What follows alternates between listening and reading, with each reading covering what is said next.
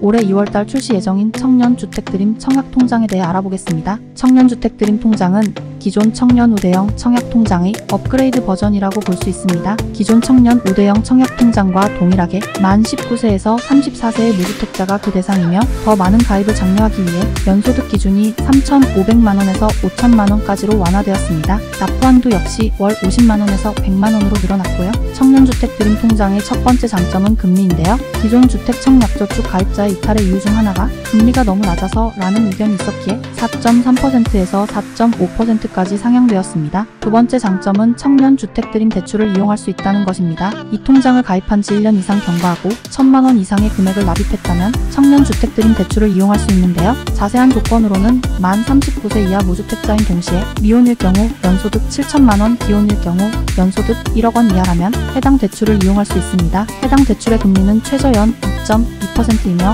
분양가 6억 원, 전용 면적 85제곱미터 이하의 주택을 구매한다면 이용하실 수 있습니다. 해당 통장은 기존 일반 청약 가입자의 경우 은행에 방문하면 전환이 가능하며 기존 청년 우대형 청약 통장 가입자의 경우 별도의 전환 신청을 하지 않아도 자동으로 전환 가입된다고 합니다. 지금까지 청년주택드림 통장에 대해 알아봤으며 저희 현금TV는 더 나아진 모습으로 곧 찾아뵙도록 하겠습니다.